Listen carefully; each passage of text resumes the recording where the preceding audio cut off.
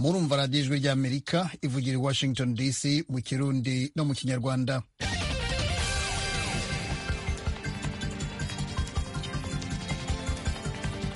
Mwirangwa amahoro nshuti z'ijwi ry'amerika tubahaye ikaze muri iyi gahunda iwanyu mu ntara muri kumwe na jeffrey mutagoma.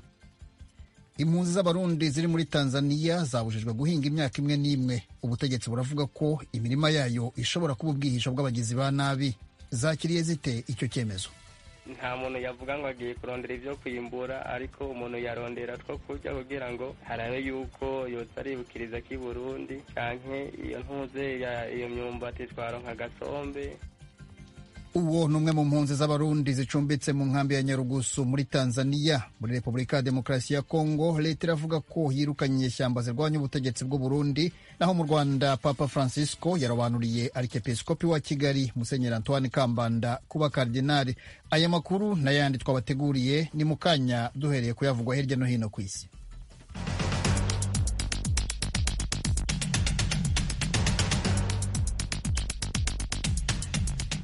mbere y'uko tubagezaho amakuru iwanyu mu ntara. Reka mugenzi wacu aloise bigirimana tugezeho amakuru avugwa hirya no hino ku isi. Urakoze geoffrey. Muri afurika perezida wa nigeria muhammadu buhari ejo kuw'imana yaratanguje akamo gahamagarira amahoro muri nigeria aho abategetsi bahangayikishijwe no kurangiza imidugararo imaze indwi zibiri muri icyo gihugu. Buhari yongeye koko ashyigikiye amatohoza y'ubutungane ku byabaye iregose ku murwa mukuru wa nigeria ku banyagihugu bari mu myiyerekano bahasize ubuzima ndetse no ku bajejwe umutekano bafuye muri iyo minsi y'imidugararo. Yahamagariye kandi abanyagihugu mu gihugu kuguma batekanye no kubana nk'abavukanyi. Amnesty internationale naryo ryavuze ko abantu cumi na babiri ari bo basize ubuzima muri iyo myiyerekano yahavuye ivamwo ugusesa amaraso iregose mu ndwi iheze. Perezida buhari yaranebaguwe ku kubona atacu yashikirije inyuma y'ubwo bwicanyi. Abantu bashika ijana barahagaritswe ku murwa mukuru rwanda muri angola. Inyuma y'ubugizi bwa nabi bwabaye mu ndwi iheze mu myiyerekano yiyamiriza leta. Nk'uko byashyikirijwe n'umwe mu bategetsi bakuru muri leta ejo ku munsi w'imana. Mu bahagaritswe harimwo abamenyeshamakuru bariko barakurikirana iyo myiyerekano. Salvador rodriguez umutegetsi mu bushikiranganji bw'intwaro mu gihugu hagati yashikirije ko abantu ijana na batatu barimwo n'abanyepolitike bo mu mugambwe ukomeye utavuga rumwe n'ubutegetsi muri angola unita bafunzwe. Iyo myiyerekano yasaba ko hatangazwa itariki nshasha y'amatora y'abategetsi bo mu ntwaro yo mu gihugu hagati yari kuba uyu mwaka ariko yigizwayo kubera ikiza ca covid cumi n'icyenda. Basaba kandi kuronswa ubuzi no kubaho ubuzima bubereye. Muri afurika kandi igihugu ca kamerune kiri mu kigandaro inyuma y'aho kuwa gatandatu hiciwe abanyeshuri mu ntara ivugwamwo icongereza mu bumanuko bushira uburengero bw'igihugu ubwicanyi leta yegeka ku barwanyi bifuza kwiyonkora ku gihugu. Umushikiranganji wa kamerune wo kumenyesha amakuru rene emmanuel sadi yavuze ejo kuw'imana ko akagwi k'abakora iterabwoba kiyonkoye ku gihugu kagavye igitero c'ubunyamaswa kandi kitagira izina. Yavuze ko hafuye abana batandatu bafise imyaka iri hagati y'icenda na cumi n'ibiri mu gihe ishirahamwe mpuzamakungu oni ryavuze ko hafuye abana umunani.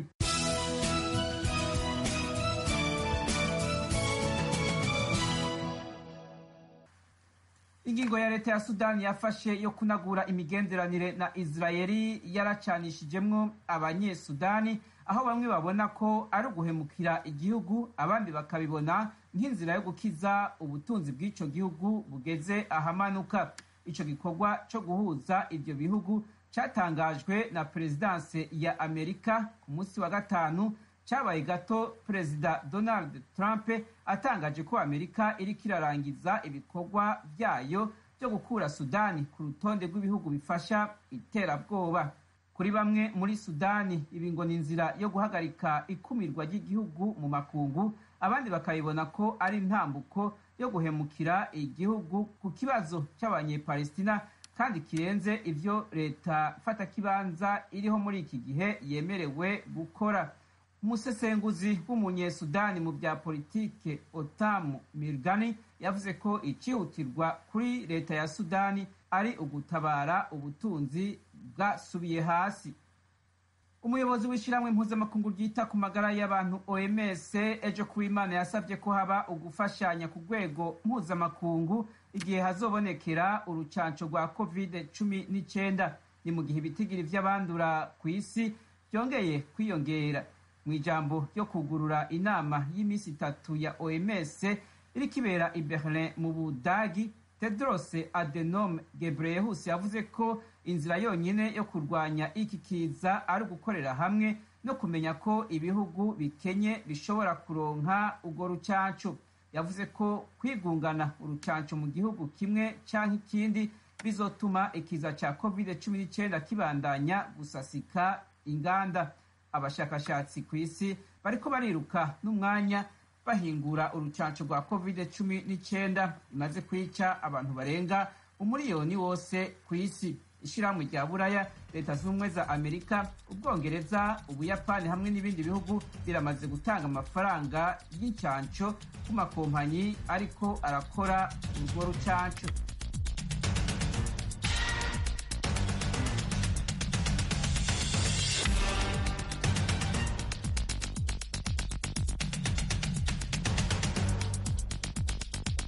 Aloyizi bigirimana urakoze kutugezaho aya makuru. Mbibutse ko iyi mukomeje kumva radiyo ijwi rya amerika ivugira i washington dc mu kirundi no mu kinyarwanda abo mu karere ka kisoro muri uganda. Mudukurikire kuri fm mirongo inani n'umunani n'ibice cyenda radiyo ijwi riyobora. Abadukurikira kuri interineti namwe mujye kuri wa eshatu radiyo yacu voa akadomo com. Mukurikire aya makuru. Noneho iwanyu mu ntara. Iwanyu mu ntara. Tuyagire mwisanzuye ku ijwi rya amerika. Ni kuva ku wa mbere gushika ku wa gatanu kuva isaha indwi gushika isaha indwi n'igice z'umutaga. Iwanyu mu ntara iwanyu mu ntara iwanyu mu ntara. Iwanyu mu ntara y'umunsi munsi turayihera muri repubulika ya demokarasi ya kongo aho igisirikare cya leta gikorera muri kivu y'epfo cyatangaje ko kirukanye inyeshyamba za fnl zirwanya ubutegetsi buriho mu burundi. Izo nyeshyamba zari zisanzwe zifite ibirindiro muri teritwari ya mwenga.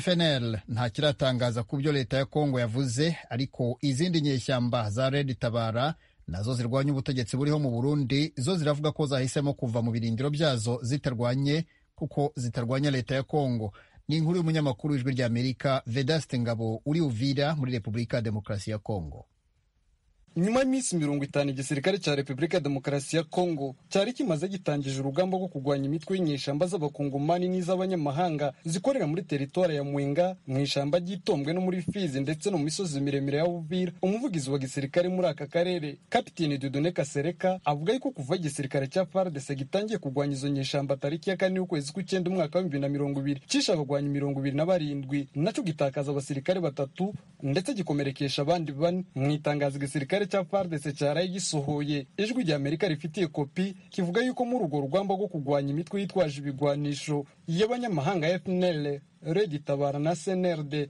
ndetse n'iy'abakongomani igisirikare cya Kongo cigaruriye bimwe mu birindiro iyo mitwe yari isanzwe ikoreramo. Kakivuza mpegeri no mu ifinda ho muri grupema ya Kigoma ahari hasanzwe hakorera Red Tabara muri iri tangazo kandi igisirikare cya kongo cyemeza yuko kigarura ibirindiro bya fnl byari na maramara na bombi na nanjala ho muri segiteri y'itungo muri grupoma y'abasimukinji premi ubuyobozi bw'igisirikare cya fardc bukomeza kwemeza ko bwirukanye n'inyeshamba z'abanyarwanda za cnrd na mayimayi kijangara mu kibaya cya rusizi ahitwa kahungwe kanga na rugezi twagaragaje kuvugisha umuyobozi wa FNL General Aloys Nzabampema bivugwa yuko yahunze yerekeza mu ishamba rya Nyaburunda n'Akashongo ariko telefone ngendanwa ntiyakunda. Ariko tuvugishije bamwe mu bagwanyi ba Red Tabara. Bemeza yuko igisirikare cya FARDC cyageze mu birindiro byabo byari kivuza mpegeri Red Tabara ihunga batagwanya kuko ari nta gahunda bafite yo kurwana n'igisirikare cya Kongo igisirikare cya Kongo gitangaje yuko kigaruriye ibyo birindiro. Mu gihe mu misozi miremire minembwe kuva ejo ku cyumweru ahitwa bigaragara na byarere na rugezi hari intambara hagati ya mayimayi ibiloze bishambuke na twigwaneho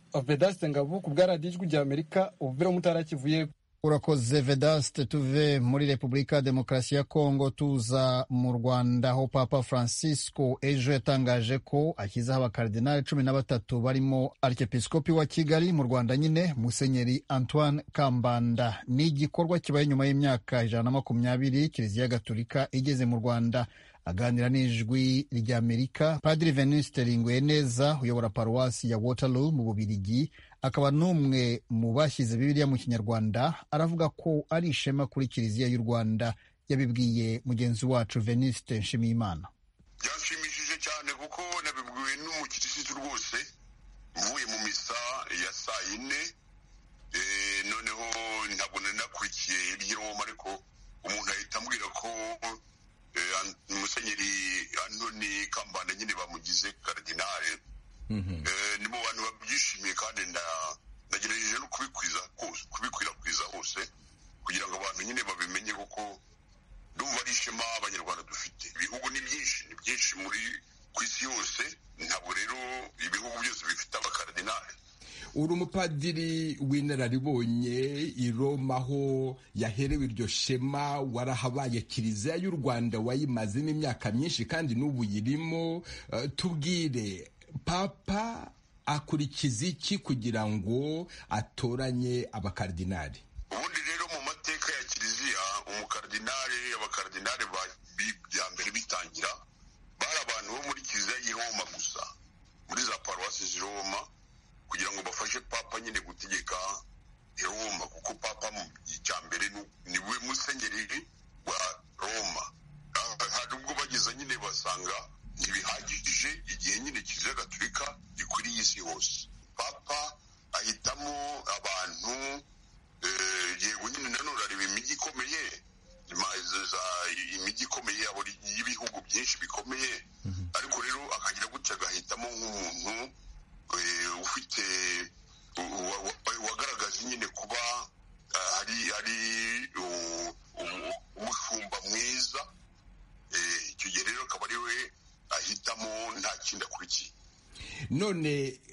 kubera icyo u rwanda rubonye umukardinali nyuma y'imyaka ijana na makumyabiri kiliziya isakaye muri icyo gihugu mu gihe mu bihugu bituranye n'u rwanda ndavuga nka tanzania bagize kardinali rugambwa muri za mirongo itanu za kongo duturanye zagize ba kardinali marura muri za mirongo itandatu kubera icyo u rwanda rufite abakirisitu benshi rwagombye gutegereza imyaka yose?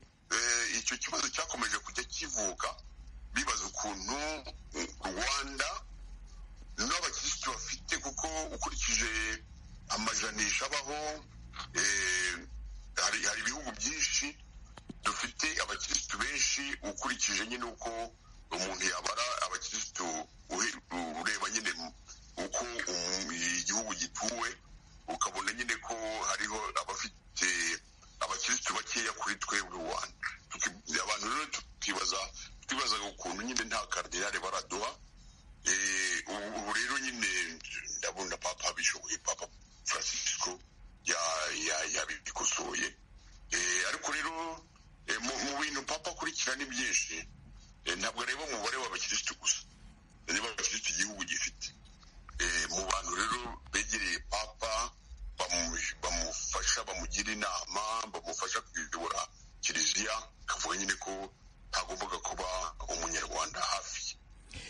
mbese ubundi akazi k'umukardinali ni akahe buriya abanyarwanda barabyibaza uyu kardinali antoine kambanda agiye kuguma ku ntebe ye ya arikepisikopi i kigali mbese azagira ibiro i roma kwa papa akazi ke kazahinduka gute hazahinduka iki azagakora ate?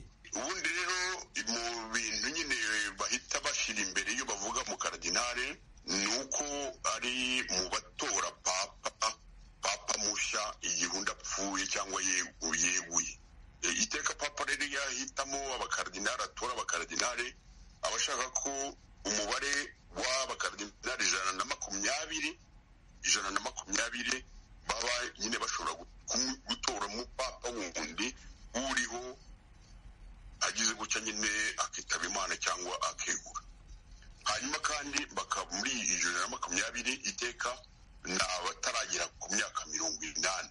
Kuko uwagize imyaka mirongo inani ntabwo wagishoboye gutora papa. Nawe iyo atora ashobora gutorwa. Abakaridinari bose bari mu myaka iri munsi ya mirongo inani bose bashobora gutorwa.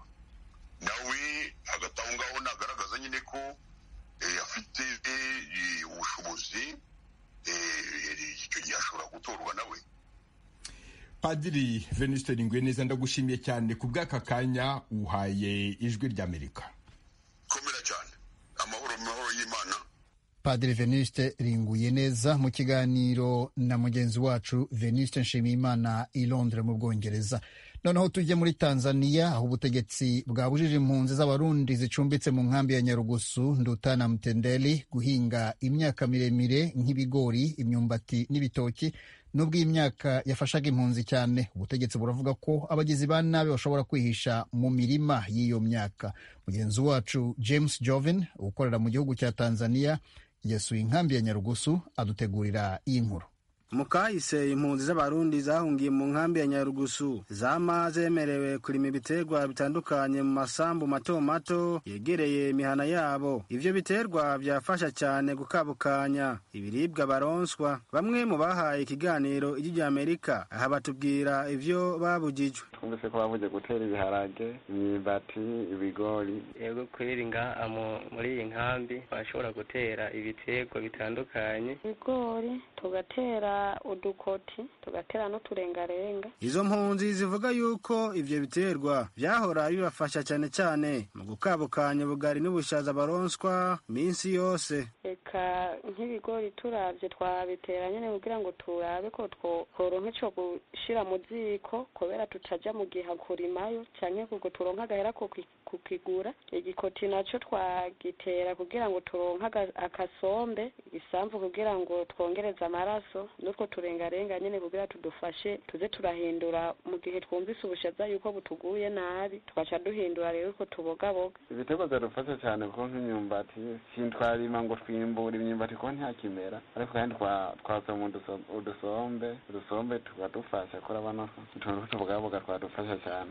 Ibigori navyo nta mwimbu twaronka twimbura tukuvuga ngo turashyira mu bigega cyangwa turaziganya ariko vyadusahiriza ku muntu akaronka utwo yotsa mu gihe atari twese dushoboye kuronka amahera kujya kugura ibigori mu isoko byadufasha cyane ibigori byadufasha cyane kuko nta muntu yavuga ngo agiye kurondera ibyo kwimbura ariko umuntu yarondera two kurya kugira ngo harabe yuko yoza aribukiriza k'i burundi canke iyo ntuze iyo myumbati twaronka agasombe canke twateye utwo dusogoro tukaza turakaba n'izi ndya baduha ngaha kuko indya ya minsi yose hari igihe usanga yakugamiye mu kanwa tukavanga kugira ngo turebe ko twogarura amapeti umutekano muke ni kimwe mu mpamvu zitumye abarongozi b'inkambi bashyiraho iyo ngingo yo kubuza impunzi kurima. Bivugwa yuko abakozi ba nabi vyoborohera kwinyegeza muri ivyo biterwa. Uko bavuga bavuga yuko ari umutekano muke kuko mu bihe bihitiye harabaye ibintu by'ubusumasuma ariko tuje tugiye kuraba so kuvuga ngo n'ubwo busuma bwahabaye hari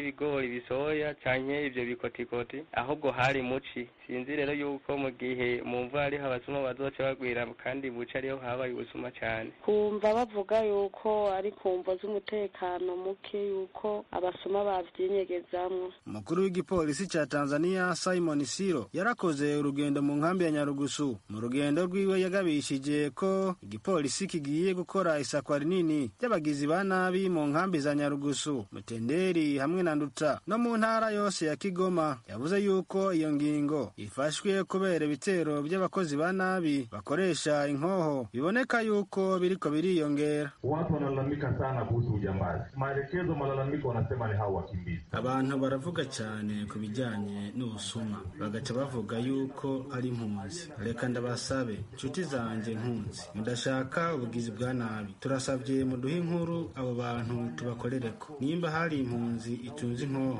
cibure ikigwanisho cyo cyose. Ninava ngaha acagenda agite mw'ibarabara taleta askari wa kutosha. Mimi huwa sina mchezo na jambazi. Mu nkambi ya nyarugusu iri mu burengerazuba bw'igihugu ca tanzania james jovini ku bw'ijwi rya amerika. Turabaramukije bakunzi namwe banywanyi b'ijwi rya ntumbero yo kuronka amakuru y'imvaho kandi agezweho dushobora gusangiza n'abanywanyi bose ni ngombwa ko tubandanya gukorera hamwe mu kuronka amakuru yizewe kandi twosangiza abatwumva. Kubera iyo mvo ijwi rya amerika ribasaba ko mwobandanya kudushikiriza amakuru amafoto amavideo y'ibibera aho mutuye aho mukorera aho mwiga n'aho mugendera. Mudushikiriza n'ibindi byiyumviro n'ibyifuzo mufise byo dufasha kubandanya tubashikira ku nyota y'ibibaraje ishinga mukoresheje urubuga rwa facebook voa radiyo yacu canke inomero yacu ya whatsapp ikurikira agasaraba rimwe kabiri zero kabiri kane kane rimwe icenda icenda gatatu rimwe. Ijwi rya amerika ni radiyo yanyu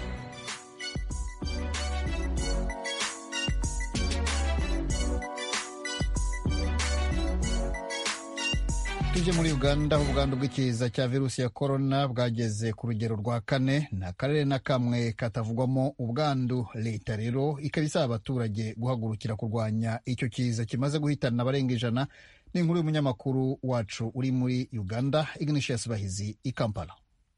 Ishami ry'umuryango w'abibumbye ryita ku buzima rivuga ko ubwandu bw'icyorezo cya covid cumi n'icyenda bufata mu byiciro bine kandi muri ibyo byiciro bitandukanye hifashishwa ingamba zitandukanye zo kwirinda.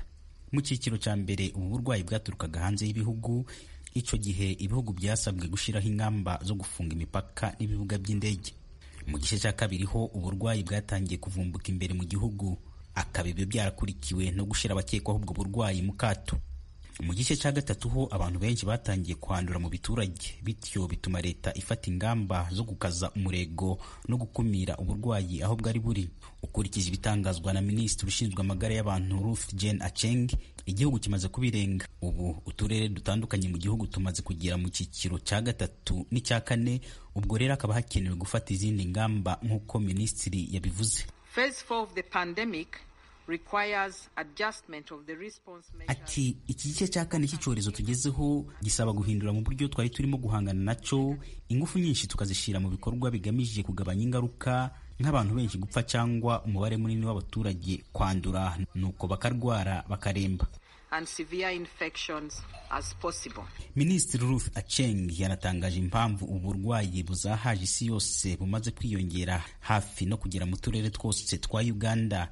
Ariko cyane cyane akaba bwibanze mu mujyi wa kampala. The widespread community transmission of COVID-19 in the current phase coincided with the timing. Ati uku gukwirakwira kw'icyorezo henshi mu gihugu byatewe no korosha mu mabwiriza ya guma mu rugo abantu bagatangira kugenda no gukora akazi kabo bisanzwe kwitaba mu biterane birimo bya politike ibyo kwidagadura kudakoresha udupfukamunwa neza n'imodoka rusange gutwara abantu barenze umubare w'uzategetswe ibi byose bitewe no kutubahiriza amabwiriza yashyizweho na leta yo kwirinda iki cyorezo.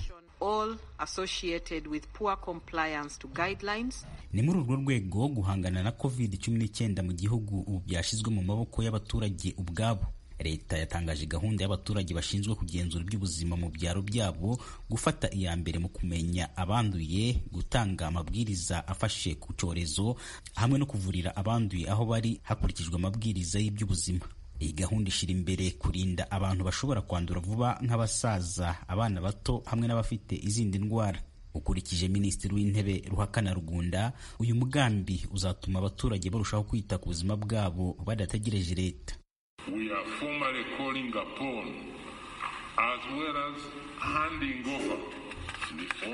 Ati ubu turimo gutangiza ku mugaragaro iki gikorwa no gusaba abaturage ubwabo kugira ngo bafate iya mbere mu kwicungira amagara yabo.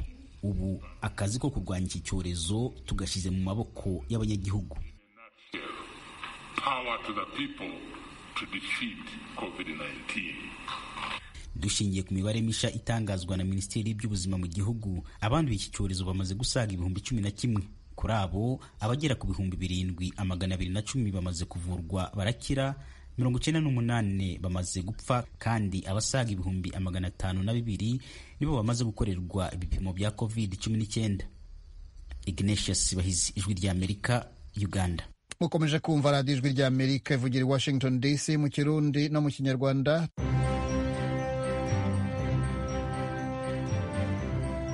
Tugeze muri wa mwanya tubagezaho ibyabaye mu mateka ku itariki nk'iyi ukwezi nk'uku. Mu mateka habayeho twayiteguriwe na mugenzi wacu venuste nshimiyimana i londres mu bwongereza. Ku itariki ya makumyabiri n'esheshatu z'ukwezi kwa cumi umwaka w'igihumbi kimwe magana cyenda mirongo itatu n'umunani richard goldstone umuzungu uzwi cyane mu mirimo ijyanye n'ubutabera yavukiye ahitwa boxburg mu ntara ya gauteng muri afurika y'epfo. Mu mwaka w'igihumbi kimwe magana cyenda mirongo itandatu n'ibiri goldstone ni bwo yarangije amashuri muri kaminuza ya vit Vatersrand nyuma y'imyaka mike ahagirwa umucamanza mu rukiko rw'ikirenga mu ntara ya Transvaal ubutegetsi bushingiye ku ivanguramoko butangiye gukendera. Goldstone yayoboye akanama kakoraga iperereza ku mvururu zabaye hagati ya Nyakanga umwaka w'igihumbi kimwe magana cyenda mirongo cyenda na rimwe kugeza ku matora rusange muri mirongo cyenda n'ine.